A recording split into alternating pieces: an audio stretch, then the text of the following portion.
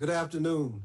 Uh, I'm Michael Thurmond, the CEO of DeKalb County, Georgia, and I would like to welcome uh, you to the second meeting of the DeKalb COVID uh, Strategic Task Force. I'd also like to once again express my appreciation to the outstanding citizens and public servants who are present on this call today, who volunteered their time and their energy and their talents uh, to help uh, shape policy at the local level to help us respond to this unprecedented uh, health and economic crisis, uh, this pandemic that has been the result of a virus that has spread literally across the entire planet. I have been encouraged and, and deeply appreciative of your support and your counsel, your advice, and your prayers. I've stated on multiple occasions, and I think it's appropriate to state it once again, that the challenge, of course, is unprecedented, but uh, together, there are no challenges we will not and cannot overcome. Uh, thank you once again. Uh, task force members, thank you for taking time out of your busy schedule to be here. Uh, I have heard from really not just across DeKalb County, but I received communications really from around the country of individuals who have been impressed uh, by not only the collection of talent that we have, but the ability of men and women here in DeKalb County to come together across partisan and racial and geographic lines, uh, religious and ethnic lines, to come together, to work together to solve this crisis. Uh, one, and I'll share this, and I, I'm sure they don't mind. We received multiple conversations and have had an ongoing uh, relationship with another jurisdiction that is forming a similar task force and that is Prince George's County, Maryland. They have followed, they, they, they are tuned in today, I would suspect, and they've looked at the videos and we've shared with them background information. And uh, the county executive there, Ms. Angela Alsobrooks, is in the process of establishing a task force similar to ours. So we're making a difference in DeKalb and literally all across this nation. So thank you so much. I'm proud to announce that we have three new task force members uh, joining us today. But before I introduce the task force members, I know that uh, one of DeKalb's uh, most uh, distinguished jurists is also uh, participating and on the line today. And the Honorable Judge Al, Judge Wong, Judge Wong is here. And thank you so much, Judge, for being with us. And I want to personally thank Judge Al Wong for his friendship and encouragement, not just during this crisis, uh, but throughout my residency here in DeKalb County, Georgia. Thank you so much. And let me move quickly to our new members and members, we can welcome them. And if either one would like to have a word, please feel free to do so. Uh, I mentioned Judge Wong, but you know, there is actually a person of even more stellar accomplishment in that household. And that's his lovely wife, uh, Miss Jeannie Lynn is with us and she's accepted. Thank you so much, Ms. Jeannie, for being with us. I second that motion.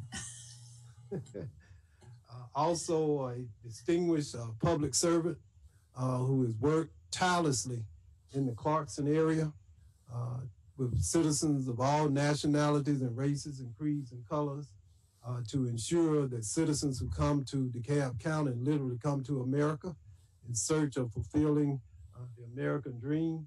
Uh, Ms. Samia Abdullah is here. Uh, Samia, she is a wonderful, wonderful servant. I met her during my tenure as superintendent of the DeKalb County Schools. She is an amazing person, and she has made contributions in the DeKalb and all across the face of our earth. Thank you so much uh, for being with us.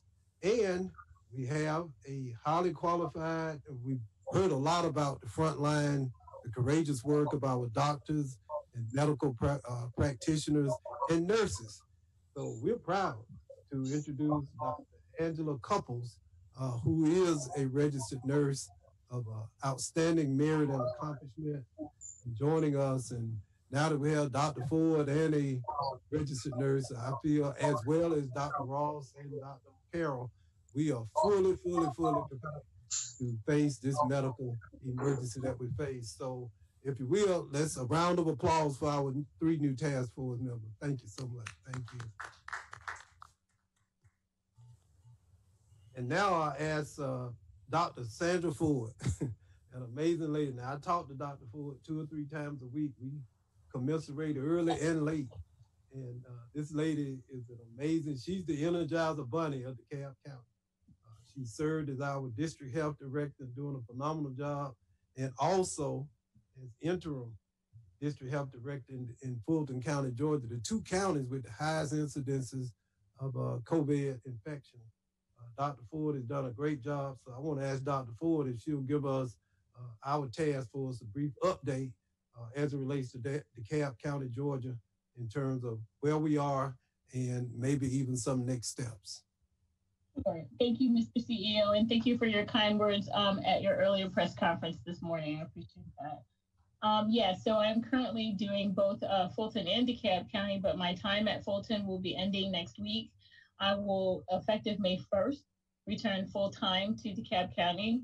Very much looking forward to providing you all with my undivided attention. Um, meanwhile, um, my team has done an extraordinary job of holding down the fort as I run up and down 85 several days a week. And so um, I'm sure they'll be happy to have me back full time as well. So let me give you a snapshot of what's currently going on first in the state and then specifically in DeKalb County. So the state is now up to 21,512 cases as of noon today, 4,009 of which are hospitalized, 872 deaths. Um, 62% of those cases, um, cases, mind you, are less than 60, 34 are greater than 60. However, when you look at the death rate, the death rate is predominantly of 60 and over, the, the vast majority. Now in DeKalb, we currently have um, 1,639 cases, which makes us number two in the county for cases. Death, we have 33 deaths, which makes us number five for deaths. We are, however, a very distant second to Fulton County. So they have 2,300 compared to our 16. 1,686 deaths compared to our 33. So we are still number one and number two for prevalence, but we are uh, number two and number five for deaths. Um, in terms of racial breakdown, again, we are still having um, challenges collecting historic uh, racial data, but moving forward from last week, we have managed to collect um, some data. And so um, first I'll start with the state. So of the 21,512 cases, um, of those who actually had data of racial um, background recorded, there were um, 6,743 who identified as Black and 5,070 who identified as white. That includes um, Black Hispanic and white Hispanic. If you take Hispanic out and those who simply identified as African American, you have 6632 to 4505. So there's almost a, uh, actually over 2,000 more African American cases of COVID 19 uh, test positive in the state. That does not mean total number of cases because, as we know, the majority of folks um, have not been tested, and this is based only on those who have received positive test results um, in DeKalb County, we have of our 1607 uh, that was recorded as of yesterday, uh, that was our grand total. Of those 1607, 939 did not have racial data attached. Because as I mentioned, we just started collecting that um, consistently as of last week. However, of those that did have data um, identified as to race, it's a three to one. It's 432 blacks to 145 whites, um, which means that 58% of the cases in DeKalb County do not have a racial identification noted, but of the of the rest of the other 42, 27% are black and 9% are white. So we're talking about a three to one representation. Um, we have been able to collect uh, as of earlier this week, zip code level data, which has also been very telling. Um, I just shared that this morning uh, with the Board of Commissioners and my board as well as the CEO's office. Um, we will be providing that data to um, all interested parties every Tuesday and Thursday. So as of today, our prominent zip codes are 300, and, and this is in ranking order. 30084 is number one in the county. 30058, number two, 30083 is number three, 30034, number four, 30038, number five, and 30032, number six. Those are the top six zip codes for prevalence of COVID 19 in the county. Those all cases are uh, over 100, uh, with the exception of 30032, which has 98 cases. Um, the data that I shared with you all um, today that was emailed to you does not include all zip codes because zip codes that have cases of less than five individuals were not included in protection of the privacy of those individuals. There were about 15 zip codes that had a single case, and so they were not included in the count. So that's why when you look at the numbers, they won't add up specifically. So what are we doing currently? Um, we are, um, as you know, the governor sent out an order um, last week before the um, release of the um, businesses. There was an order sent out to expand um, testing criteria. Uh, initially, we had a shortage of tests statewide, and so we had to have very restrictive criteria that was prioritized based on physician referral, and status as a first responder. Since that point, we have been able to expand testing criteria to include all symptomatic individuals. And so there's no longer a need for referrals, which I think will help some of the inequities that we are seeing in um, some of our racial data because there's no longer a need to have to be referred by a physician. So that takes care of a lot of uh, disenfranchised folks who may not have access to a primary care physician, and certainly not during these times. So, anyone who is symptomatic can report their symptoms on our call line, which is 404 294 3700, option one. When they give that information, they will then be scheduled for an appointment. We have two locations in DeKalb County currently. We have a location in South DeKalb near Boulder Crest Road, and we have a location in North DeKalb in Dunwoody. Um, we have plenty of tests available, and we are scheduling folks as, as frequently as our tests allow. So if you call those numbers, we will be able to schedule you with an appointment, and you will receive your results anywhere between 24 to 48 hours. Um, in terms of contact investigation, we are starting to ramp that up because that is the next stage of addressing COVID 19 is to really figure out who has been exposed, who is symptomatic, and identify some of your potentially asymptomatic individuals as well. And so we'll be reaching out um, to our teams that we are putting together with assistance not only from Emory School of Public Health, but I just got an email this afternoon that Georgia State was also um, offering us assistance with contract tracing, contract contact tracing.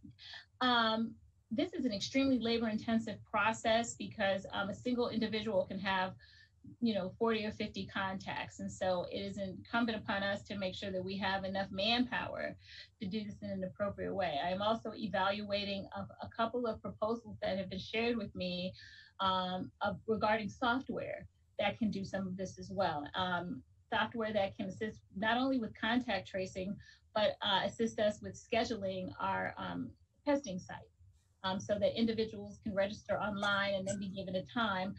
They can also obtain their results online, which would also free up a lot of staff to, to do more of the contact and uh, tracing piece of it. Um, we learned yesterday that the National Guard is also um, putting up a test site that is through um, the state, and they are assisting as well with um, outbreak investigations. We have, um, at last count, 18 long term care facilities in DeKalb County that have experienced uh, COVID outbreaks with numbers anywhere between one to two per center to up to 30s and 40s. And so uh, I have been most aggressive in trying to address those issues because clearly that is our most vulnerable population and um, they are locked in. And so it has to be coming from folks inside and out, which would be the staff. So we have been trying to uh, educate staff and management at these facilities on appropriate um, protective measures, including sanitizing all surfaces, um, we have been working with the state to provide them with protective personal equipment if they don't have any. Um, but it's not just a matter of providing it, they need to be diligent in using it.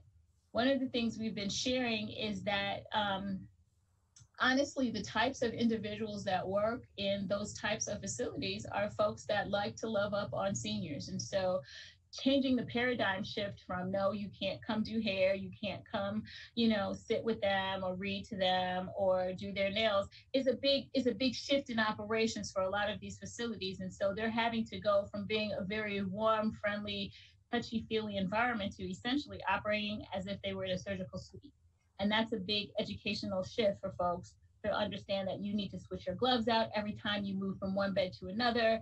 And so we're just trying to educate them on ways that they can maintain the safety not only of their staff, but of the clients. Because a lot of staff are being impacted by COVID 19 as well, which is impacting their these facilities' um, ability to deliver care to their patients. So these are the things that we're trying to manage. Um, I had a was happy to um, participate in a, a silent press conference with Sheriff Maddox earlier this week. Um, just wanted to publicly compliment her on the amazing job she has done in uh, maintaining extremely low levels of COVID 19 at the DeKalb County Jail.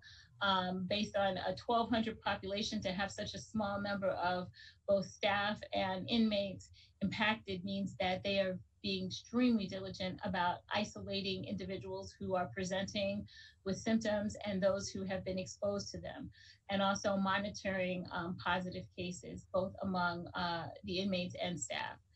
So um, I will stop there um, at this point and uh, open the floor up for questions. But those are the main things that we're doing. Um, looking forward to being back into CAP and providing you with data more um, frequently as we gather it and working on some um, large scale interventions. One of the things I was excited to hear on the CEO's presentation was about this potential funding because these disparity and inequity issues in the county are not new, as we all know. And I think that this particular pandemic has simply highlighted something that's been an issue, um, not only in DeKalb County, but throughout the nation. And so this unfortunate series of events gives us an, an opportunity to really address this on a, a broader level because uh, truly this is, is, an access issue, it's a resource issue. And um, now's the time to take advantage of the support that we've been receiving from so many different sources to try to address this once and for all. And so we were joking about making uh, lemonade out of lemons, but I think what we really want to do is uh, create a lemon grove. And that way we don't have to worry about lemonade ever again. Any questions? uh, thank you. Uh, that question for Dr. Ford. Uh, Dr. Ford, this is Lamar Smith, DFCS Director. How are you?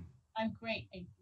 Uh, can you give me the top three zip codes again, please? Uh, this is particularly valuable for me as my workers are, are still out responding to cases. Certainly, and if you want to send me your email, I can include you on that. What we're going to do, this is new day. We just started doing this today. So I'm going to ask my public information officer, Eric Nickens, to create a list, serve of people who are interested in this information. Um, we we mapped out the last set um, that we got on Tuesday, but we'll we haven't mapped this one out yet because it's very striking when you see it visualized on the map. But the top three are 30084, 58, and 83.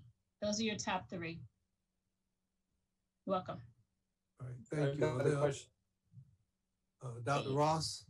Yeah, Dr. Ford, uh, I saw the paper, I think it was today or maybe yesterday, that Dr. Toomey announced there would be a number of contact tracers hired for the state.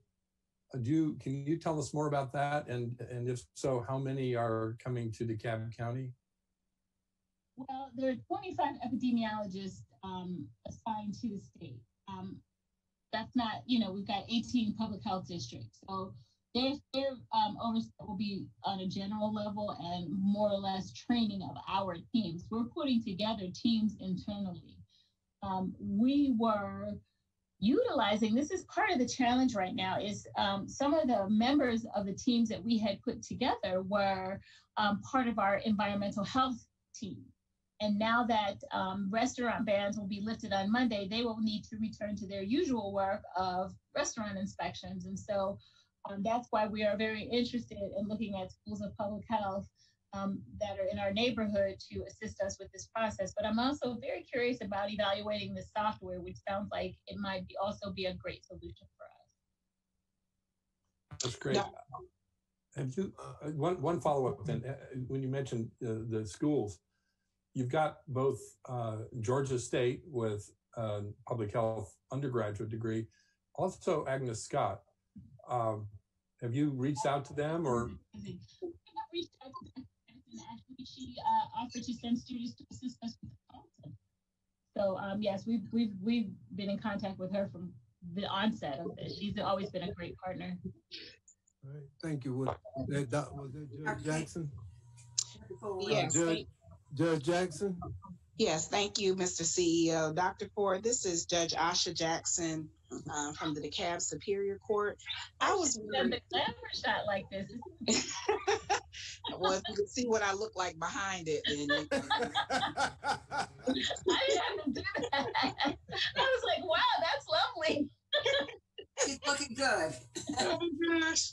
Thank you so much for all of your hard work. I was wondering if you could just give us a brief update about sort of where we are in terms of quote unquote flattening the curve as we start to think about and plan for returning to work kinds of issues. We're getting all kind of data, but I just wondered if you could kind of give us an update in terms of a timeline uh, as to kind of where you project that we are, you know, from from all of the information you've received.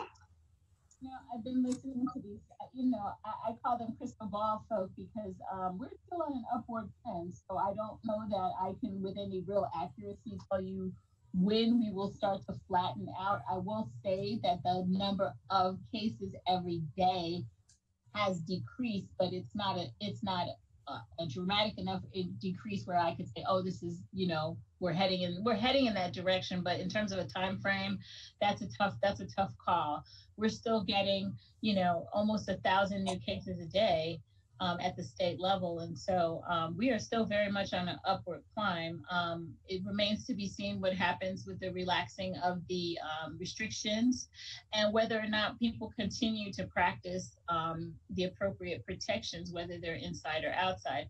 The other piece of that, though, as I have mentioned in a couple of other um, settings, once you start testing more widely, you will have more positives. And so, if anything, I would expect in the next two weeks the numbers to increase rapidly. In fact, my prediction was probably by the end of next week, we will probably see more like 30,000 cases in the state, um, simply because we have more capacity, A, more capacity to test, and the tests that we are receiving are, we're getting results faster. And so, those things are going to um, be dramatic you know, demonstrations of, if anything, increases in the number of cases.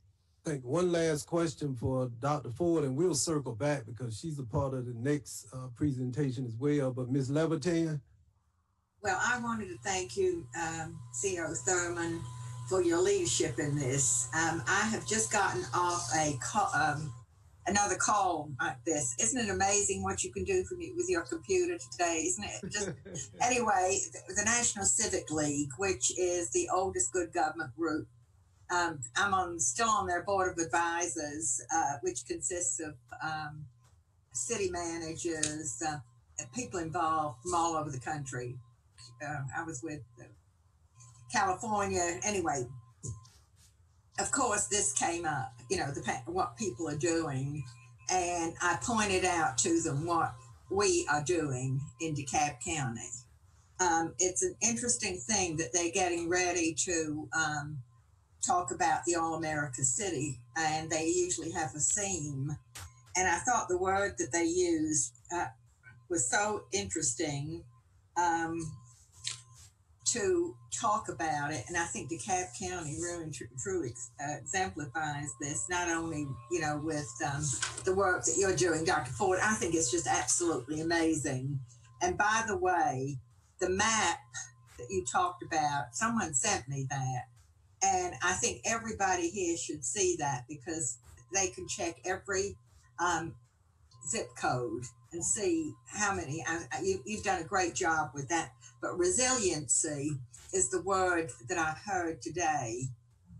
And I think that that's one of the things that we can really incorporate in the work that you're doing, um, CEO Thurmond because DeKalb County is a resilient um, group of people that really and truly care about it.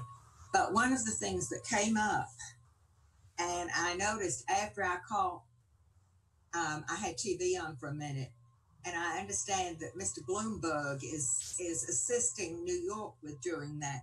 They are talking about um, participating and training for tracing. I mean, this was a new thing for me.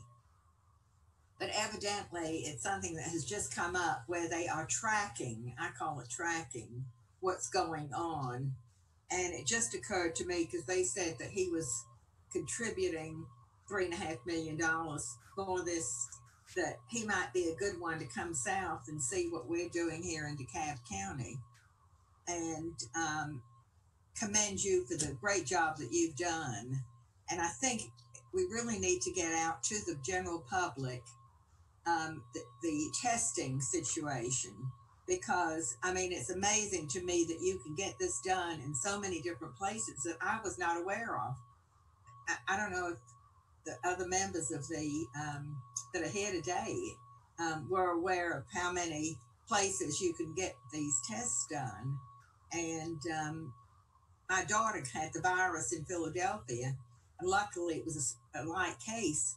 But it took her eight days to get the results, and she was already better by the time she got the results. So um, I think,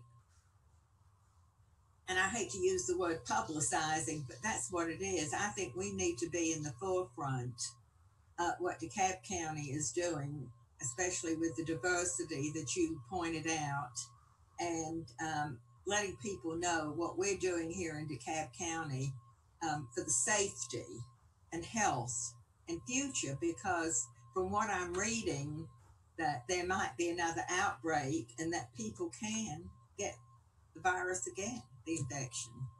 So, I mean, really, actually, what I'm saying is thank you for what you're doing here, every one of you on this committee, and I'm familiar with all of the great work that most of you are doing. so I want to thank you for allowing me as a member of ARC, and that's actually when I spoke to the chairman. Um, we're talking about seniors, which includes me, um, but just take District Two, um, Mr. Raid, uh, Commissioner Rader's district, um, District 2, 45% of its population are seniors. And um, that is the most vulnerable group. So I think something special needs to be done to make these individuals aware of what they need to be doing and what they need to be looking out for, but also where they can get help. So I've made, made my statement. And again, thank you, thank you, Mr. Thurmond. No, See, thank uh, you. For, Hi. thank you for And my, your and my friend Michael, how about that? How about that's it? Thank you, Ms. Levitan. Madam CEO, thank you. Dr. Ford, any response? covered well. I'm sorry. That, that's a blessing, man, because you know a lot of folks have had a very torturous course with this disease, so that's a blessing that she's fully recovered. Um, and that's some some of the other pieces that we're looking at now um, are taking the plasma of individuals who have recovered and providing that to um, currently infected individuals. And so far, it has proven to have some some positive effects. In fact, I have a dear friend as we speak receiving plasma from a recovered individual uh, here in Georgia. And so, fingers crossed on that.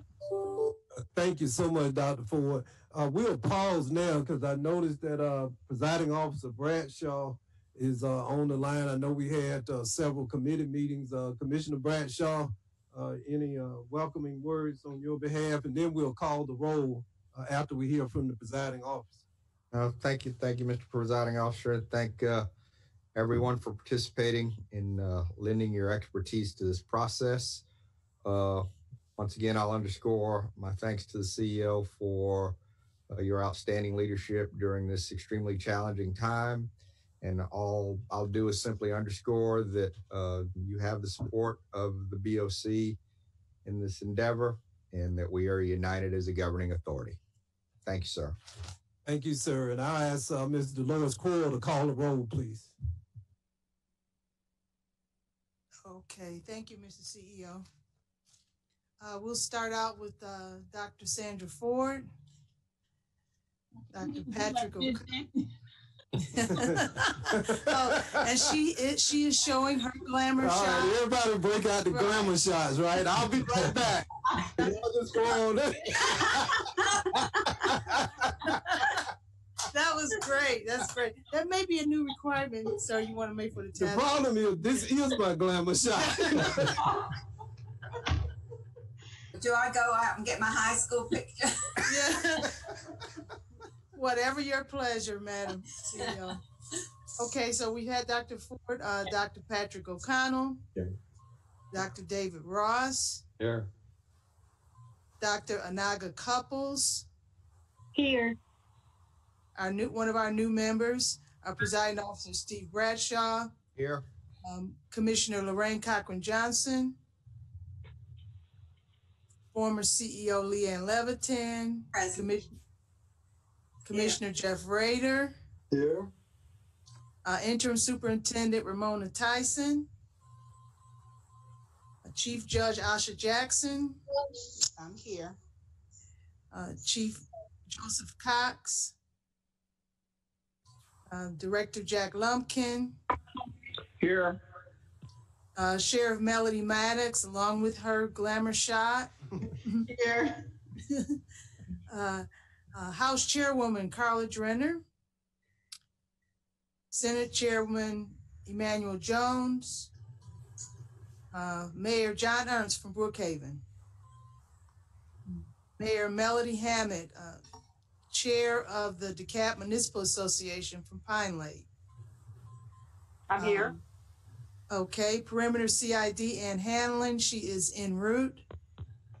Um, uh, Mr. Uh, the well-renowned Emory Morsberger. Incredible. incredible, incredible, incredible, yes. Uh, Brookhaven Chamber President Alan Goodman. Uh, interim President Ken Coleman for DeKalb Chamber. Here and hoping to be world renowned one day like Emory. Yeah. And here, another up and coming world renowned uh, Dorian DeBarr from the DeKalb Development Authority, Present. Thank you for that. uh, Lamar Smith from DFCS, Uh, here. uh, Jeff Parker from MARTA. I'm here. Thank you. Thank you, Mr. Parker. And uh, our, our two uh, additional new members, Ms. Jeannie Lynn I'm here. And Samia Abdullah. I'm here. Thank you. And there's your role, Mr. CEO. Uh, thank you so much and uh, welcome once again. And before I proceed, I would just like to recognize and thank CEO Parker. I, I followed the media uh, over the last few days and the challenges that are being faced uh, at MARTA and the steps that you're taking. Uh, Mr. Parker, we really appreciate uh, your sensitivity and your focus and the challenges that you're facing. And, and just want you to know that you have our support. Appreciate it. And uh, I will just pass on. I know I have your support because when we needed some masks and we were in a pinch, it was uh, you and uh, your team from DeKalb County that stepped up and filled a hole that we had for our employees. So thank you so much. Thank you, Mr. Parker. Your employees are our employees. So thank you so much. Uh, now I would like to call on two of our uh, members here, uh, Dr. Patrick O'Carroll and Dr. David Ross. Uh, Dr. Ross has been a person who I relied upon uh, to provide to counsel and uh, support and direction as we attempted, as we are really the ongoing effort to maneuver through this crisis. And uh, we've heard a lot about modeling and flattening the curve and, and so many terms that I'm not uh, familiar with and the predictability of these models and the reliability of the models. And these models are being used and as they should to help people like myself uh, develop and implement public policy. So we've asked uh, Dr. O'Carroll and Dr. Ross, assisted by Dr. Ford, if they might uh, share with us uh, some ground level understanding of COVID 19 model, modeling and data statistics. What do they really mean? Uh, you hear the terms, but oftentimes it's spoken and respoken in the media, but with not a lot a tremendous amount of definition and understanding. So I would like to call and ask uh, Dr. Ross and Dr. Carroll and Dr. Ford if they might provide us with some insight and understanding so we will be better prepared uh, to make decisions going forward for DeKalb County, state of Georgia. Okay, well, thank you, Mr. CEO, um, for asking that we we talk about this. I know these are words that everyone hears, and to a greater or lesser extent, people sort of understand what they mean. I think Dr. Ford used the correct expression, the crystal ball, folks. Um, that's really what we're talking about. Uh, but before I say that, I just want to again thank you, Mr. CEO, for the really great leadership job you are doing and all the, the, the county staff. I mean, you all are working so hard and so well. Um, as a citizen of DeKalb County, I just really appreciate that. Um, and actually, I think the data, the facts, actually show that there's some relationship to uh, that, that strong, aggressive leadership and the impact it's had on making people uh, safe. Also, want to thank, as others have, Dr. Ford. Um, she is uh, she is the whirling dervish. She is really uh, a bundle of energy and and has done so much for the county and for actually for the state. And I and Sandra, I want to thank you just personally for having done double duty for over a year uh, handling both the DeKalb and Fulton districts. That's a huge task. Um, I'm uh, I'm honored to know you. So, uh, with that, let me say a few words then about about forecasting and why it's so critical. Uh, it's critical because uh, we need to inform decision making, but underscore the word inform. Inform doesn't mean that the models make the decisions but they offer our decision makers um, an opportunity to ask more probing questions. These models can help identify hotspots. Um, they can help identify trends in the spread of, of COVID throughout the county and the state and across the country. And they can therefore help us decide where to focus resources like ventilators or thinking ahead for emergency overflow beds or staffing, material, supplies, etc. Um, but let's let's be clear that forecasts use statistical or mathematical algorithms. So understanding a model, basically, if you really want to dig into it, requires that you understand the assumptions that are made in assembling that equation or set of equations, that mathematical model. Uh, and and that you understand the specific parameters in that model and how you can tweak them to get to different results. So therefore under a sort of opening up the hood to the engine um, is is part of what our our uh, leaders like our CEO and our and our health officer have to do to try to understand a bit more about what whether or not uh, you can make something out of what the model is projecting or as, Dr. Ford referred to him the crystal ball. So, um, in a conversation yesterday with with the CEO, uh, Dr. Carroll and I were talking, and Patrick referred to weather modeling as a good example. Weather modeling is more precise the closer to the day it comes. So, like, it's pretty easy to tell the weather today. Just open up the window and look out. You can see it. Uh, What's it going to be tomorrow? Well, looking at the weather today gives you a pretty good guess about tomorrow, but the weather forecasters are looking at actual uh, physical representations of airflows and the uh, currents moving across the country and temperatures at different elevations. And they put that together in a mathematical way uh, to make a prediction. And that prediction also uses data from the past that looked a lot like these values today to predict what tomorrow is.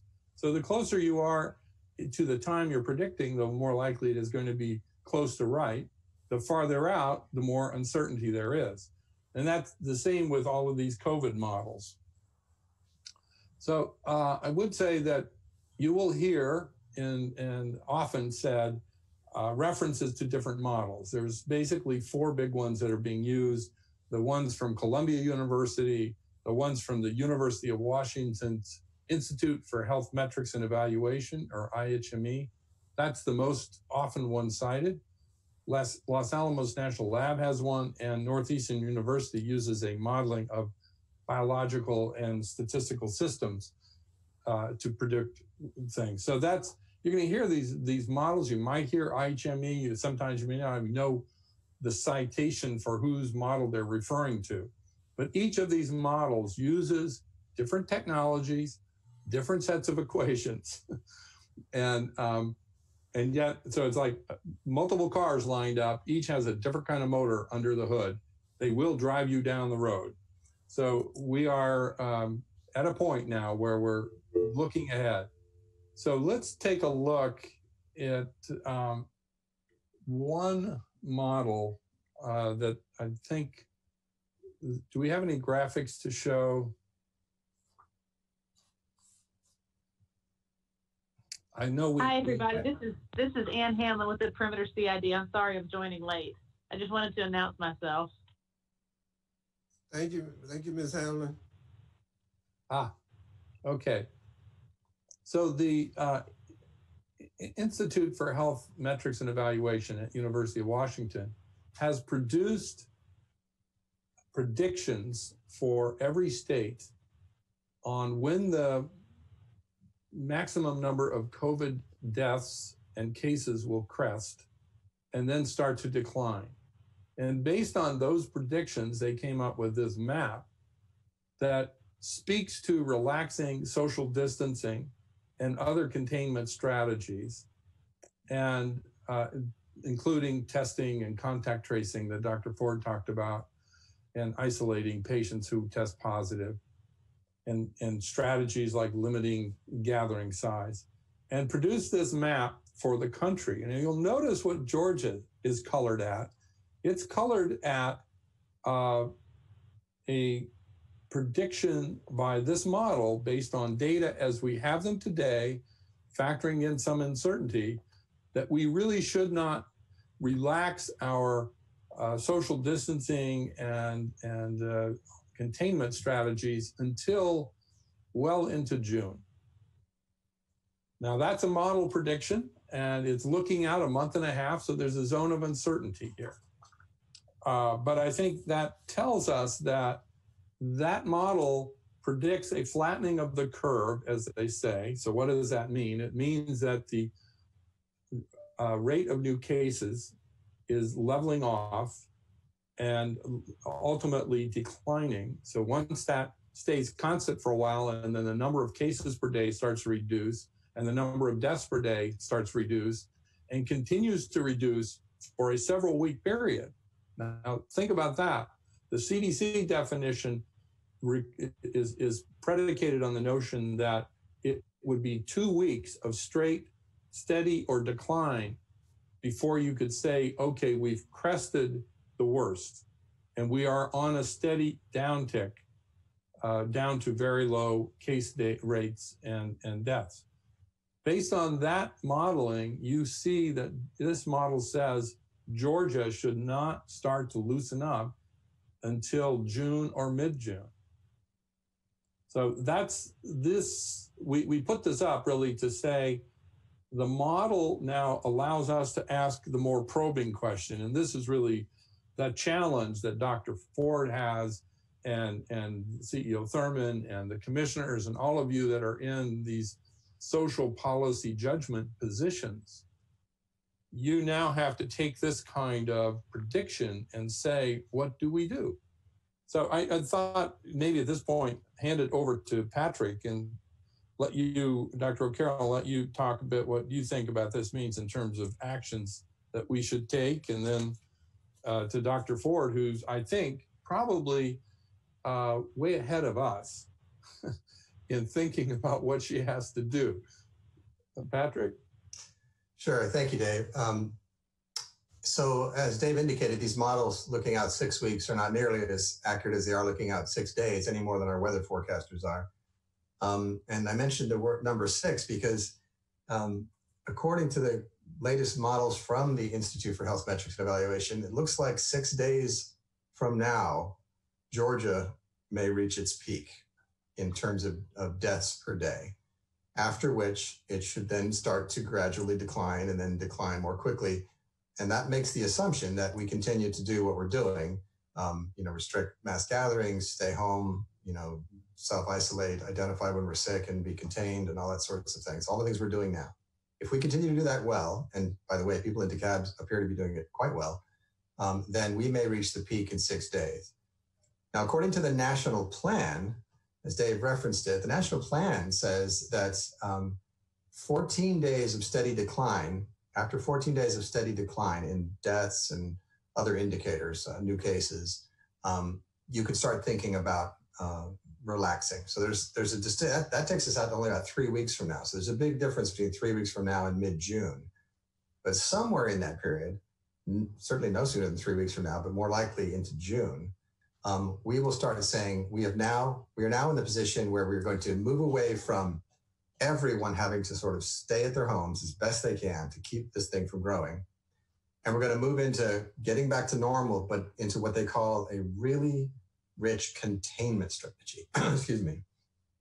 Now, a containment strategy, I've been talking about it as having three parts, but last night I heard the former CDC director, Tom Frieden, talk about four sides of a box.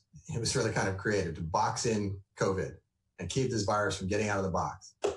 And the four sides of the box are as follows. And this is effectively the containment strategy that has to be ready to go when we in DeKalb, certainly, and in Georgia in general, say we don't have to worry so much about staying home all the time. What we got to do is is contain any new cases. As the containment strategy involves testing rapidly anyone who develops symptoms that might be consistent. And I was really uh, encouraged by Dr. Ford's description of the amplification of testing capacity in Georgia. That's just, in Atlanta in particular, that's just wonderful. That's one side of the box. We have to be ready to test everyone who gets symptoms that suggest they might be sick. We have to be able to isolate, this is the second side of the box. Anyone who's positive has to be quickly isolated so they don't spread the disease any further. And then they have to be taken care of, of course, if they're symptomatic and, and taken to the hospital and so forth. It's just as important, though, just once we've identified that person who's positive and they're sick, we now need to do contact tracing. And that's what you heard about. And there's nothing magical about that. It's exactly what it sounds like. If, if I turned out to be positive, investigators from the health department are going to call me and say, Tell me who you had contact with since you first had symptoms. And in fact, since a couple of days before you had symptoms, when it may be that I was infectious. Now, most of us, if we got sick for two days and then got sick enough that we thought it might be COVID and got, finally got tested, they might be asking me about contacts five days ago. That's pretty hard for me to remember, but maybe not so much if we've been staying inside most of the time, because maybe then we could say, well, I, I went to Chick fil A in my car and I got a you know drive through and I went to McDonald's once and I went to the supermarket once. And then and then you got to then the health department has to reach those contacts, reach out to them and find out how much contact was there really. Was it intense enough that we need to worry about them? And if the answer is yes, like yes, we had we sat together and had a glass of wine and I, you know, I remember being within six feet for quite some time. Now we need to put that person into quarantine. That's the fourth side of the box. So the four sides are testing, isolating positives, tracing their contacts, and quarantining those who've been exposed to them who may never get sick, but who may have been infected. We won't know until they develop symptoms or don't develop symptoms. So that's a big task. That's, that's the bad news. The good news is we have some weeks to try to get this plan and this uh, group of people, that is the people who do contact tracing, the people who will do the testing, um, the people who will manage the isolation and make sure that that happens well, and the people who will supervise the quarantines. I know that Dr. Ford already knows how to do this because public health people do this all the time for very small outbreaks. It's, this is not new to COVID. What's new is the scale, the enormous scale that we're dealing with. I mean, I've seen estimates that suggest uh, Atlanta may need 1,600 people, 1,600 contact tracers, according to the Johns Hopkins University and the basic calculations they're doing per population. Now, we don't expect 1,600 employees. A good number of those may be volunteers. And in addition, as Dr. Ford pointed out, it may be with these days with everybody carrying around cell phones that instead of relying on my memory as to who my contacts were, who I may be exposed, we may be able to use cell phone technology to know who I got near to, and it may be much more simple than it used to be to effectively find uh, do contact tracing. So um, that is the challenge between now when you're hearing my voice, when we are not ready yet to release, uh, in my opinion, to to and in the opinion of the modelers who've looked at this, um, to actually relax our um, social distancing. But when the time comes that it is time to relax social distancing, we have to have this containment strategy in place. The people, the technology, the materials, and the plan. Um, we have got to have that in place. And so the clock is ticking on getting that set of resources mm-hmm. together so that when we get to the point of relaxing social distancing, we are we really have a robust containment strategy ready to ready to rock. So why don't we stop there and, and take questions? As we take questions, I will also say I think one concern that we should that you as leaders should be aware of is it, it concerns me that with the models being presented, people may see that downhill curve and say, "Oh boy, it's over." That's not the case at all. And as, as Dr. O'Carroll was saying, we have a lot to do. Uh, and so I think the messaging, public messaging here is going to be critical, is that we may have crested the, the, the top of the hill. We are a long way from being able to open back up. And there are a lot of ramifications for that, but that really needs to be all of us in our communications with friends, family, business associates, or the public at large, a message. So, Thank you for saying that, Dave. I, I, and let me, if I could um, back up Dr. Ross on that one. If you look at that graph that's showing with the dotted line that's heading downhill, you can, it, it is a natural thing to look at that dotted line halfway down and think, look, we're, we're doing fine. Let's, uh, let's socially distance at this point. I mean, let's take that off the social distancing at this point. If you go out to May 15th, that's still over 50 deaths per day in Georgia. Those are, it's, we got to put put that into perspective. Those are 50 human lives. Those are 50 brothers and sisters and mothers and fathers and grandparents and children, some of them. 50 a day that don't need to die.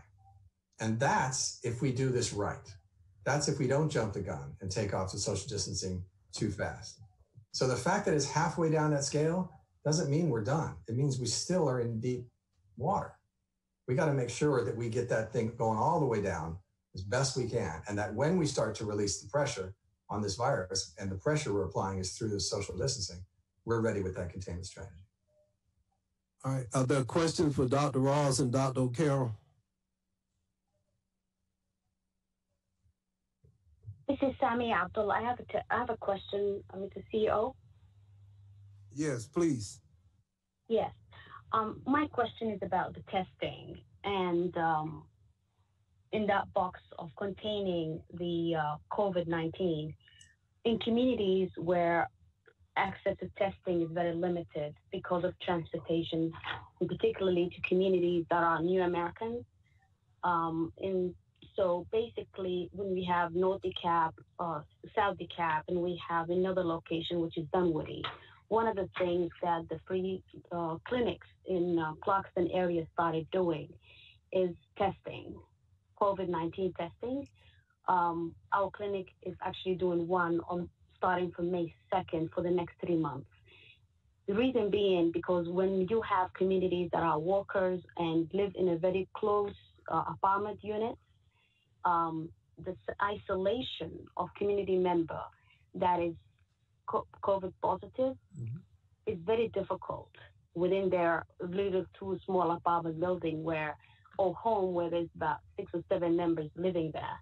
So one of the things is how do we um, bring those uh, testings closer to sites or sites where maybe looking at creative ways of bringing the testing. And I think this is what the free uh, clinics and our clinic, the Clarkston Community Health Clinic is one of them, is trying to really be proactive in figuring out how we can be ahead of the curve and make sure that we provide linguistic training to communities as far as uh, things in their own languages, as far as um, staying healthy and staying isolated, washing their hands, and all the other things. So my question is, um, is there any plans for testing to come closer to communities? Thank you. I can answer that question. You, you you're asking if there's testing coming to the Clarkston community specifically? Um, the collaboration with we already have several uh, clinics that are already doing that. Um, so collaboration to be able to use the existing resources within the communities, um, which to be able to ramp up more testing, but also assist in the areas of linguistics and contact tracing and all these things. It's just that kind of collaboration. Of course, absolutely. Why we, you know, I think the state has been pushing for a centralized um, scheduling and, you know, data collection. And what we are trying to explain to them is that DeKalb is so unique with our language needs that, you know, even if you think you have our language, you probably don't.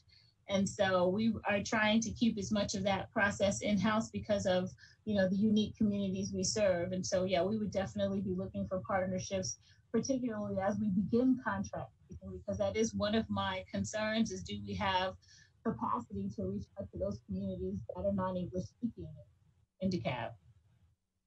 So, Dr. Ford, should Ms. Abdul reach out? Can she reach out to you or someone on your staff? Uh, she's very active with the uh, with the clinics there in the. Work together, sure. Yes. All right, thank you. Thank Mrs. Uh, Thank you. Thank you, Mr. CEO. Thank you. May I ask a question, please? Yes, Hi, uh, this is Al Wong. I'm a state court judge in DeKalb.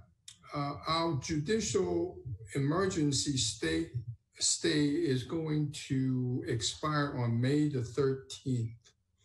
I think uh, everybody agrees we're not in the position to do any jury trials at this point. But once after the 13th, the courthouse is going to, assume, be back uh, open for business. And we have all sorts of calendars, especially in state court and out on Memorial Drive, uh, the traffic court, with a large number of people coming in on these calendars. Um, and I'm concerned that we, we want to comply with containment strategies. And I wonder if there is any coordinated effort with the sheriff.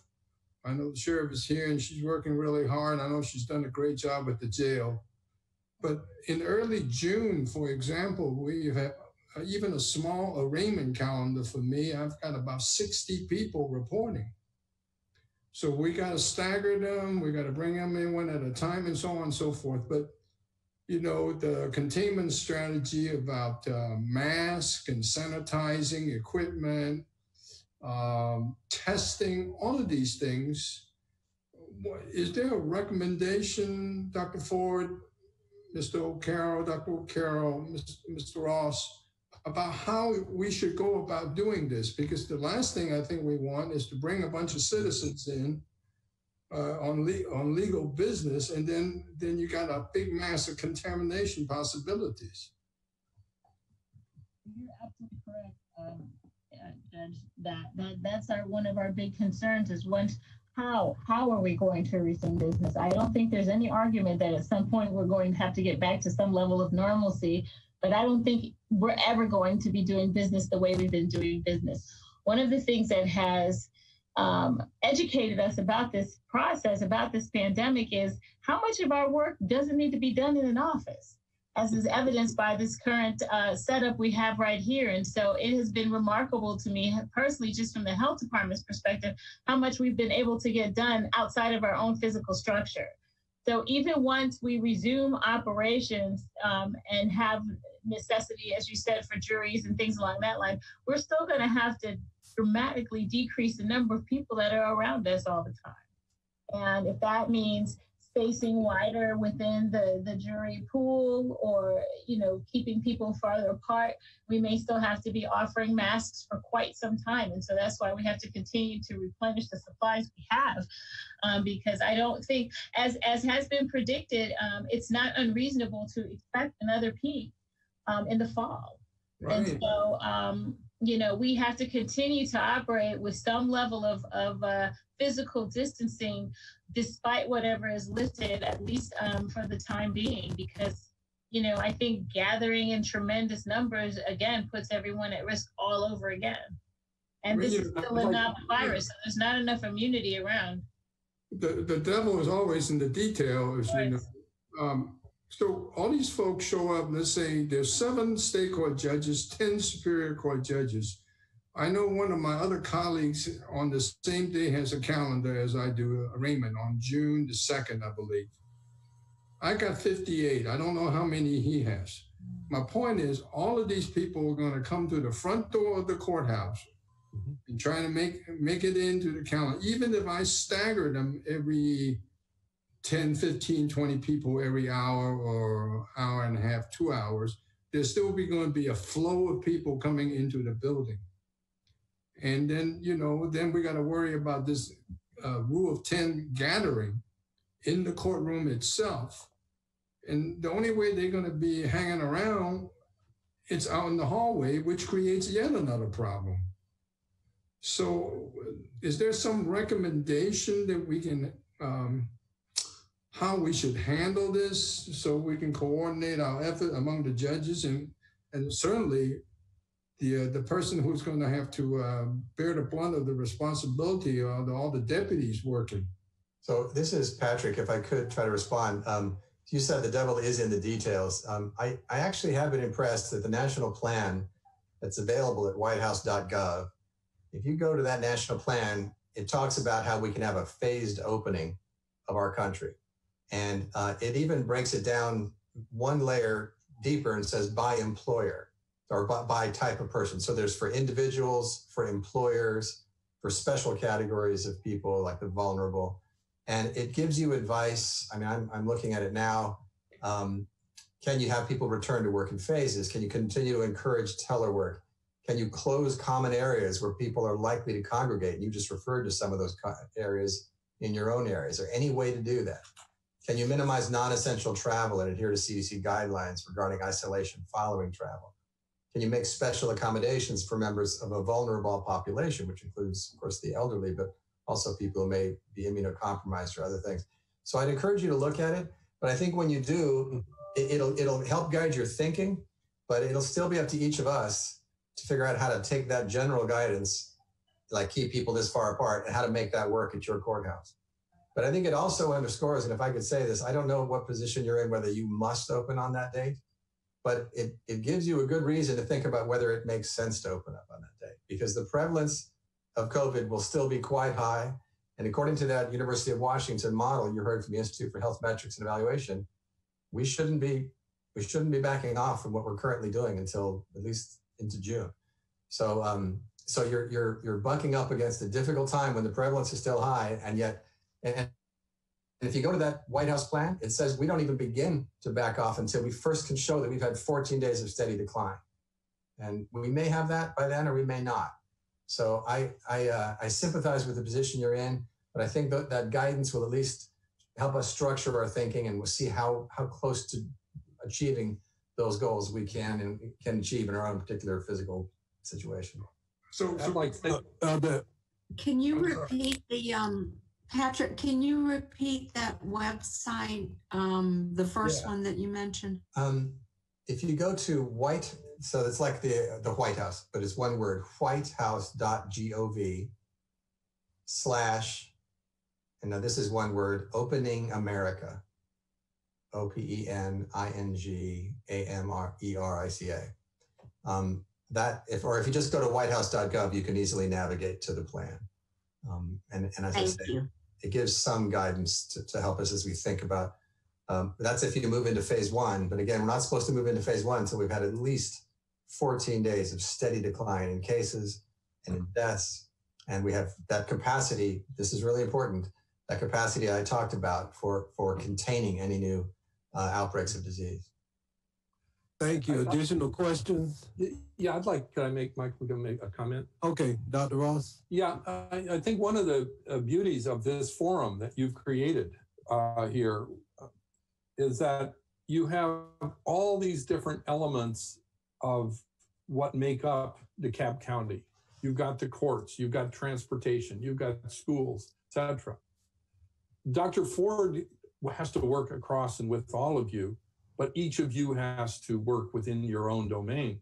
Like so with, with Judge Wong bringing up the courts, I, I do think it, to the extent they can get any assistance to develop a specific plan for their area. I know that transportation has worked with you and your staff to work out social distancing for uh, transportation uh, staff and protecting them with masks and sanitizing, et cetera. The same with the courts. These plans need to be created uh, because I think we're going to need them again. Uh, they would be, it's a worthy investment. They're going to be not just shelfware, but something that we can use in the future. Uh, and I think you, you, you've, you're fueling a discussion that a lot of counties around the country could benefit from. Uh, this should not be a random walk into the reopening. It needs to be very thoughtful. Last item on the agenda really is the uh, early stages of the development of this plan or plans that will need to be developed. Judge Jackson? Thank you, Mr. CEO. I just wanted to respond to uh, the two previous comments that were made, and I sent Judge Wong a, a message. Uh, we do have a task force that has been um, put together to discuss the quote unquote reopening of the courthouse. And we will be meeting to address a lot of the concerns that were raised. Um, this discussion is happening at a higher level statewide uh, weekly, and it is going to be discussed with all of the stakeholders in the courthouse. Uh, notwithstanding that, we we are seeking um, some of the public health recommendations um, that may be coming about and are continuing to be developed. And so, I would personally appreciate uh, the information being sent to me so that I can share it with all of the stakeholders. But as chief judge of the Superior Court, I guess I am tasked with pulling together all of the levels of court in the county and so that is what we're doing uh, when we meet early next week is to begin to have um, continuous discussions about reopening, though we've already been meeting uh, to try to keep things afloat. And I've reported off, you know, when we had our first task force meeting that was convened by the CEO about uh, some of the efforts that we put in place, and we are continuously developing other efforts so that we don't have to think about what to do when we reopen and how to integrate uh, large numbers of people back into our operations. Uh, thank you. And one thing, uh, and I guess I'll, I'll, mention it to you, working with uh, presiding officer Bradshaw and the board of commissioners, part of what we, our challenge will be in the coming weeks is using care resources that are now flowing into the county to help to address some of the issues that Judge Wong and Judge Jackson might confront as you move into the new normal. So the plan, by implication, may uh, also bear with it some financial investment. So these are the conversations. The good thing is we're beginning to think about it, and hopefully, and I know for a fact, uh, we will take appropriate steps to uh, address it. Are there other questions for our panelists?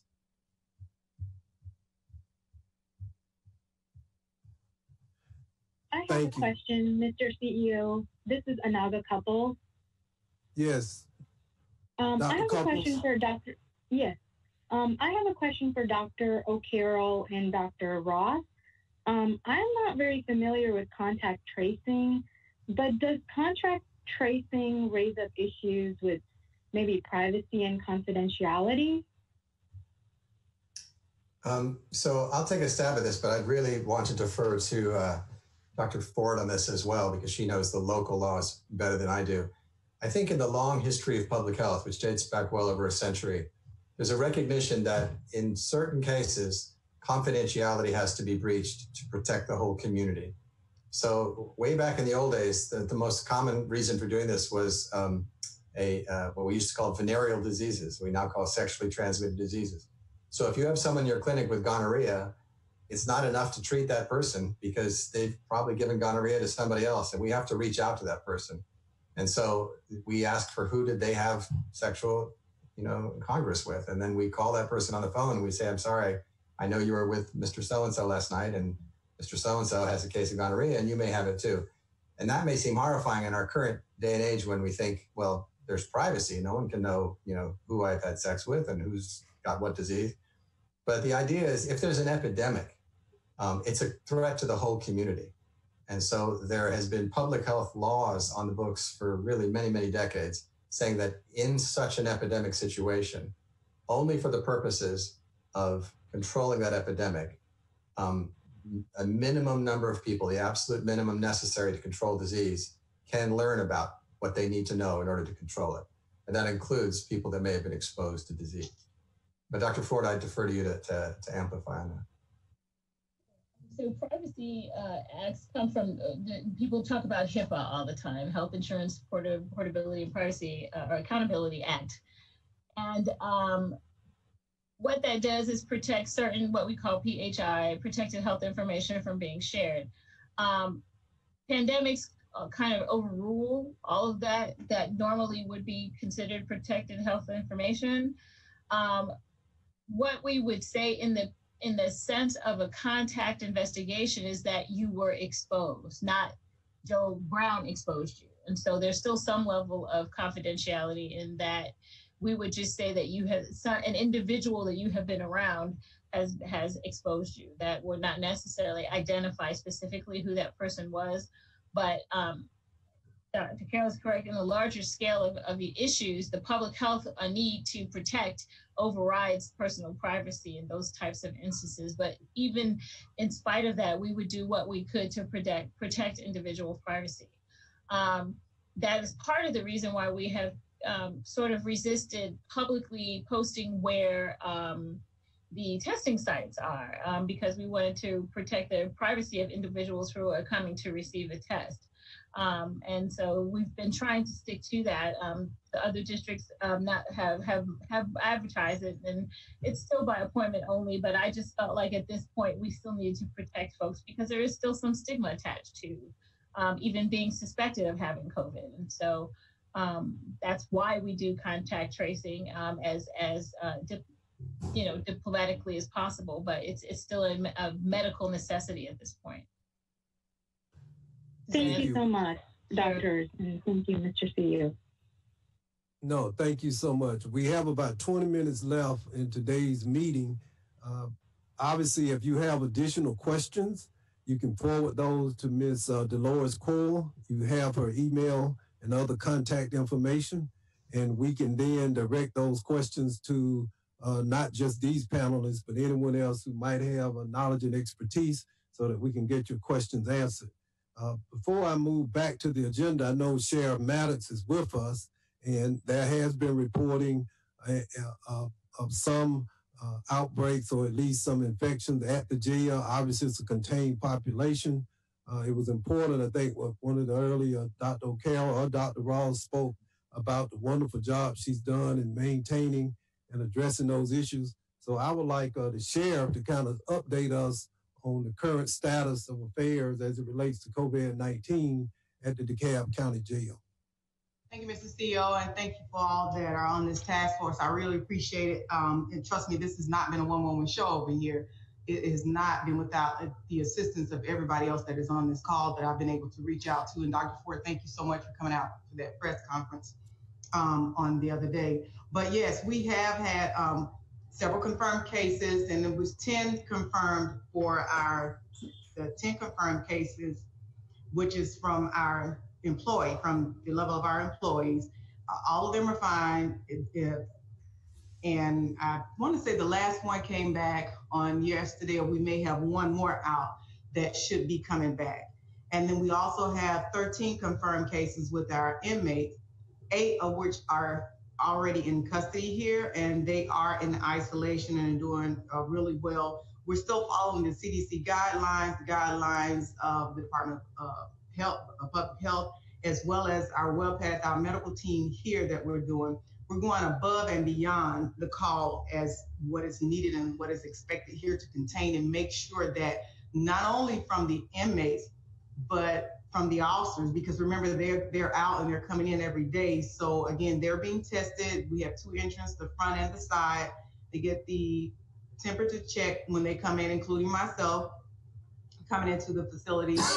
also with the um, officers, when they are in the pods, they are wearing masks, they have gloves, they have other PPE equipment. For those, the inmates that are on the floors, they have the confirmed cases, they have the all over, they wear the N95 mask as well as the other equipment. We put out probably at least twice a week about maintaining your um their health, you know, washing the hands and the sneezing in, in the arm, as well as wearing your mask when going about. Every inmate that comes into this agency from the time that they're booked in is given a mask. So they must wear that mask when they're moving about, coming out for their daily little walks in their pods. They must have that mask on. They're given equipment, uh, I'm sorry, given um, cleaning and cleaning equipment in order to clean their pods, which means their particular certain areas where they sleep. They are spraying solution, as well as mopping those areas out and cleaning the shower going in, cleaning the shower going out. Make sure that um, make sure they have water, make just making sure things there. Um, well, and again, that's just really, um, I'm very pleased because it's only one of the population that we had um, with the positive contact. We're still going uh, over, as Judge said, we're meeting next week um, soon to discuss, you know, the courthouse, what we're going to because the majority of that, as Judge was saying, that it, it comes upon us and the to make sure that we maintain the form to make sure that everybody is safe as they enter into their house. So we're still, my, my concern, not the inmate, but CEOs for the office as well, because there is somebody like this going on here.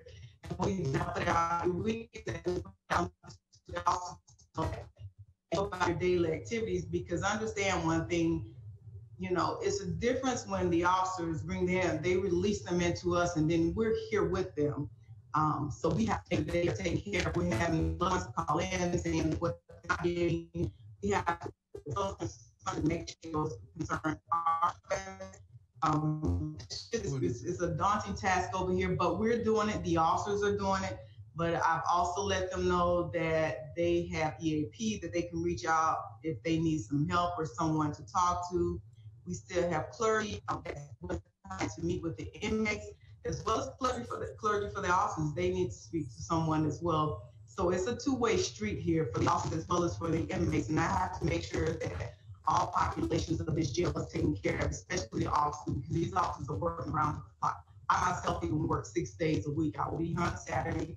I go into staff time and make sure those meals are prepared properly and make sure they get what they need but also make sure that they are adhering to the protocol for cleaning and sanitizing. On Saturday morning, we'll have the company that comes in and spray as well. Now, my concern, Dr. Ford, also is that you didn't know on the press conference the other day, but Georgia National Guard, of course, uh, we've had probably about 50, maybe if not more, employees that have. Sarah, really muffled. I'm having a hard time hearing you. Yeah, we're breaking up a little bit. Let's come back to the sheriff.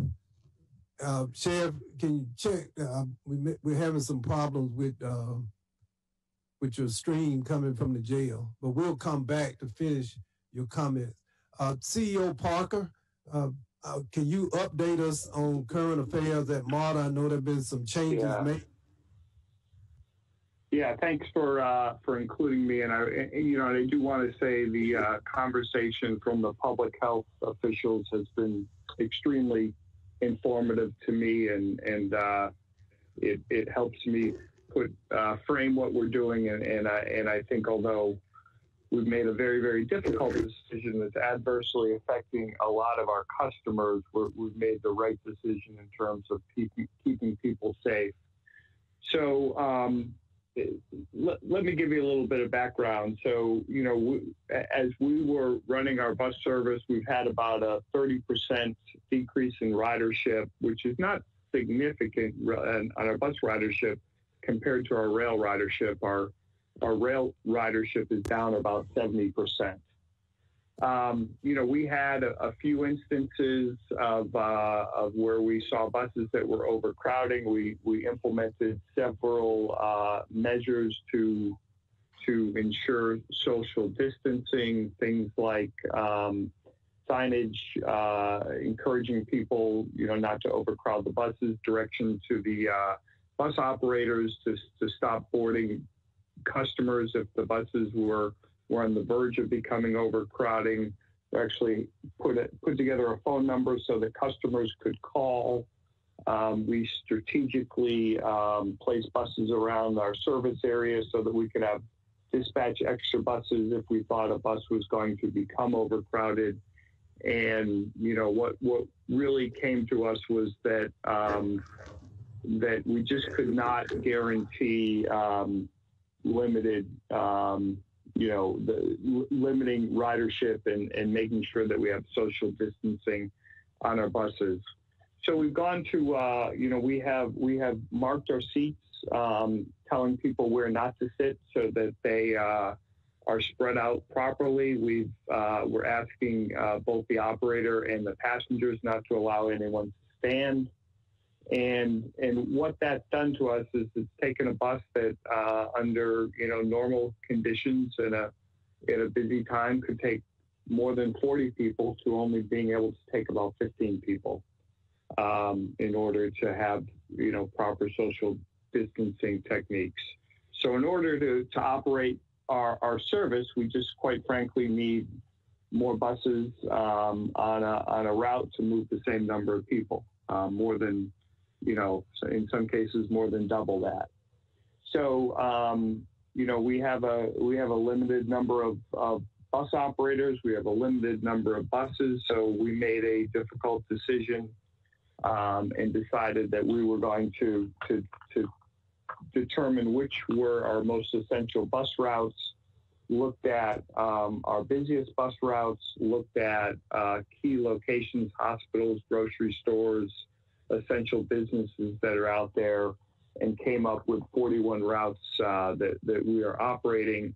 And what we have done with those 41 routes is that if there were previously scheduled eight buses on that route at a given time, we now have 16 buses um, out there serving serving that that population. We began this on Monday. Um, it's it's been just extremely successful in terms of social distancing. Um, we virtually have um, you know the only the only contacts that we're getting from people um, are just letting us know that a bus didn't stop and that uh, We've had buses that are right behind and, and haven't had to reroute buses to uh, to serve people. But clearly, what it has done is it has left, um, you know, 60 of our 100 bus routes not operating. Um, while we're while we are, um, you know, serving something like 60, 65 percent of our customers, we do have a lot of routes and a lot of customers who are, um, you know, we just we just temporarily ceased operation in order to be safe. We put out um, notices at all those bus stops that we're not serving to make sure that, that we notify them. We, have gone to great lengths to put signage around our system. And, um, you know, we, we, we, we continue to do that. So, so what we're, what we're doing now is we're just going to continue this fine tuning um, of this uh, 41 routes and, and I think we may have an opportunity to add uh, one or two routes back um, this week, possibly Monday morning, um, as we see that um, where the doubling of bus service on a route um, is in excess of, uh, of what we really need to um, ensure social distancing. So, you know, we're, we're going to continue to do that. I think my, my biggest concern moving forward is, is, that as the, um, as the region um, becomes more active um, and more and more people are moving around, it will clearly mean that more people will be, um, you know, using our service. Um, when the judge was talking about the, uh, um, you know, the, the providing services at, at the courthouse, what went to my mind is there's, you know, a good number of people who are going to be taking the bus into uh, Decatur center or, or riding the rail system. And, and we're going to have more people, and we've got to make sure that, that we can operate that system safely. So, you know, we are right now um, in a posture of uh, being committed to uh, providing service that is safe and sustainable. And, uh, you know, it's, it's, it's been a very difficult decision Um, but but with that difficult decision, I think it's a it's a wise one for the health of uh, of the region. Um, clearly, you know, as we were talking about tracing of people, the last thing that we, we would want the people who are responsible for tracing individuals to hear, well, I was on a bus five times and there was 40 people on that bus and I have no idea who those people were. What we want to ha- what we want to hear is that they were on a bus and they felt comfortable that they were, you know, sufficiently distanced away from all the other passengers and and hopefully everybody was wearing masks and and um, there's not a significant concern about contact being created um, on a on a MARTA vehicle. So, Mr. CEO, that's that's where we are. You know, I'll be the first to say it's it's been a very very difficult decision, but like I said a moment ago, one that I think is uh, you know ultimately going to help us get through this quicker. Um, you know, we we as an employer have been affected. We have uh, 23 employees who have uh, uh, reported to us that they're positive. We've identified 122 employees who came in contact with those 23 employees, and and uh, over uh, you know a period of time they've been uh, they've been self quarantining and and uh, you know with extremely heavy heart. I you know we did have one employee pass away just a, a couple of days ago, um, so we I'm sure we will continue to be affected by this as we all are, but you know we we are committed to uh, providing safe and uh, sustainable service as we get through this. Thank you so much. Is there You're welcome. question for Mr. Parker? Uh, Mr. CEO, this is Lamar Smith. I have a question for Mr. Parker. Um, Mr. Sure. Uh, thanks for the update, and I appreciate you uh, considering the community safety. Um, will your process for reopening routes uh, include uh, engaging with uh, the task force here and, and other strategies? Um, I just know I just had a few calls. The Route 125 to our DeKalb uh, office uh, is temporarily closed, uh, and and just wanted to reach out to hear what perhaps some strategies look like for reopening routes. Yeah, um, you know, I would encourage everyone. Uh, you can you can email me directly or anyone on our staff. We're, we're going to great lengths to track all of the feedback that we're getting um, about this. I actually have a have a map in front of me of, of all the routes that we're not running color coded by the number of people who've called about those individual routes. That's mostly through our our customer service, the the 84 uh, 404 848 5000 number, just so we're we're trying to track uh, passengers who are um, uh, you know uh, concerned about the lack of uh, bus service. Um, and you know, I, I, encourage people to reach out to us so that that we're hearing where um, you know the most um, difficult circumstances exist and ultimately, what we want to do is we want to, as we add service back, we want to make sure that we're providing the biggest benefit to uh, the overall system. Um, so um, please pass anything on you, you, have to me. I've, I've noted 125, um, you know, as as one of the routes that that you'd mentioned. So I'll pass that on to our team. Thank you. Uh, one other question. We have time for one additional question from Mr. Parker, if there is one. All right, thank you. We'll go back. I think the sheriff may, I wanted to get a sheriff time to finish her comments. Uh, well, no, they're still working on it at the sheriff's office. So uh, finally, uh, we won't spend a lot of time on it, but obviously this has major ramifications. Uh, sheriff, in the back.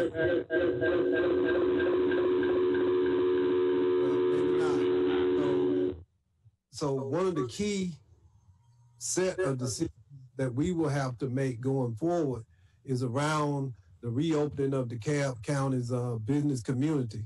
And one of the things I would like to do is to establish a subcommittee of this task force that will begin to look at the myriad of issues that will be faced by business owners and uh, employers and employees as we return to whatever the new normal will look like. And so, with that in mind, I wanted to ask Presiding Officer Bradshaw, uh, Mr. Morsberger, as well as Mr. Coleman, would serve as a nucleus of a committee. And of course, we will recruit other members to begin to shape the plan, a set of principles and guidelines that can help DeKalb County business owners, employers make the transition at the appropriate time in an appropriate way that will mitigate the spread of this disease uh, that uh, Mr. Ross, Dr. Ross, and Dr. Carroll talked about at that point when it's appropriate to do so. So if you all, uh, Mr. Presiding Officer and Mr. Morsberger and Mr. Coleman will agree to do that, I would appreciate it. Yes, Mr. CEO, I will answer that call. Yes, sir. Be honored to do so. And I'll be honored as well. Thank you. And thank you. And of course, there are other business representatives on the task force. They'll obviously be involved, but we will also recruit other members from the business community to participate in this very important subcommittee. And uh, finally, um, today I issued a um, COVID 19, uh, what we call the 30 day transition plan. It dealt with some of the questions that were raised. Uh, look, there's been a lot of debate and discussion uh, over the governor's decision to reopen uh, some uh, non essential businesses beginning tomorrow. Well, no matter where you stand on that issue or that decision, I've stated publicly what my opinion was, but the bottom line is uh, the governor's made it quite clear, uh, at least at the last communication, that he was not rescinding his decision. So consequently, uh, as leaders in DeKalb County, we now have to go forward and do everything we can to mitigate spread and keep people alive to the greatest extent possible. And in order to do that, uh, we're going to have to work uh, uh, uh like Trojans uh, over the coming days to help DeKalb transition in the most safest and the most secure way possible. So that's what this task force, with your support, will be focused on. And that's something I'll be talking to uh, presiding officer Brad Shaw and the commissioners about in the days to come. How do we do it? It's going to happen, uh, whether it happens in June or July or September or next year, it is going to happen. And the professionals have stated very clearly, Dr. Ford and others, these are the steps that need to uh, take place before it occurs. Our job is to make sure that precautions are in place prior to the, the doors being reopened as much as possible. So that's kind of where we are. The second thing, uh, as stated earlier, that through the uh, CARES Act, DeKalb County, along with other uh, metro counties with plus 500,000 population, are receiving uh, funding to support the local response to offset costs and make proper investments. Uh, we need, I would like for this task force to advise the administration uh, when a plan is presented, ultimately the decision uh, with all appropriation rests with the Board of Commissioners. CEO recommends Board of Commissioners decide. I'm asking this task force in your various capacities to help create the most integrated, uh, the most thoughtful plan possible for DeKalb County to address the current pandemic but more importantly, to invest in prevention so that we can reduce the probability of crises like this reoccurring again. So going forward, uh, it, Dr. Ford said it, uh, I think uh, most succinctly than I ever will, out of this crisis, we can actually become a stronger, healthier community if we take advantage of it. And if we don't just spend money without a vision, a strategy, and a plan in place. Uh, obviously, uh, Dr. Ross, you know, one of the things that you've helped me focus on is there is a need for research and analysis to help us better understand how did this happen? How is it that Southwest Georgia and even communities of color in DeKalb County have been so disproportionately impacted? And not just to have a study to sit on a shelf, but to help guide policymakers, uh, commissioners, legislators, CEOs, how do we put plans and strategies and policies and investments in place that will help people live safer lives? So that's the challenge going forward. And that's the, also the opportunity we have going forward. Let us not allow the people who lost their lives to have died in vain. As, as painful as it is, uh, Mr. Parker spoke of one employee Uh, we've had two DeKalb County employees who lost their lives as a result of COVID 19. We had another young man, uh, just 41 years old, uh, who was very active uh, in DeKalb government on boards and commissions. Uh, he lost his life just this past week. This is life and death. It's not politics anymore to me at all. And I want us as DeKalb County residents to recognize that it has absolutely nothing to do with politics. It's about saving people's lives. So with that, uh, unless there are other critical issues, uh, I want to once again thank our newest uh, task force members. There'll be others joining us as this journey, and it is a journey, uh, continues.